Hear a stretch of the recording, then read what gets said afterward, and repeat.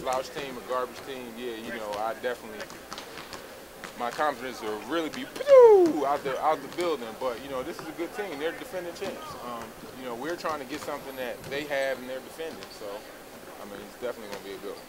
Chief, just so things that the key. Forget forget about all these extra banners and extra media. And all I, that stuff. I ain't worried about that. I ain't had nothing to do with them other banners on either side. So I ain't worried about none of that. That's y'all that hype that up. Oh, Lakers, Celtics, 17, and them people up there in New York. So that's them that hype it up, not me. Obviously, you guys, everyone wants to win the titles, and then any extra talk about trying to win for, for, for Perk, can that give you any motivation? Extra motivation? talk about trying to win it for us. Yeah, Not one individual trying to win it for us, for the team, for the organization.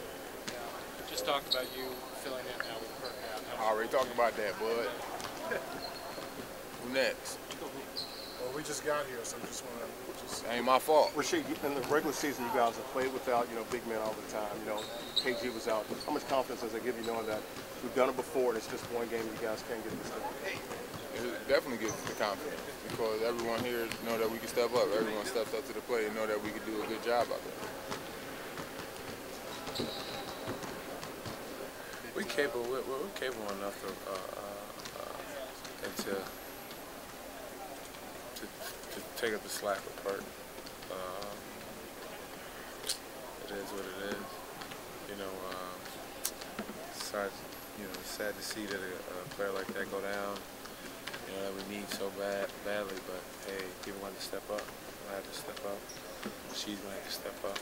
Shannon's going to have to step up. You know, make it happen. Kevin got to step up. Everybody got to step up. What you, This is for the Marbles. Yeah, you could be on the floor. Uh, you said you want to be on. the floor. you could be on the floor a lot more, I guess, with with Perk's situation. Can you talk a little bit about that challenge and stepping up to it, you personally? I love it. I love it. The opportunity to step up, opportunity to play a lot of minutes, be that guy on the floor. Uh, it's what you want right here. You know, this is this is what you want, and we gotta go get it.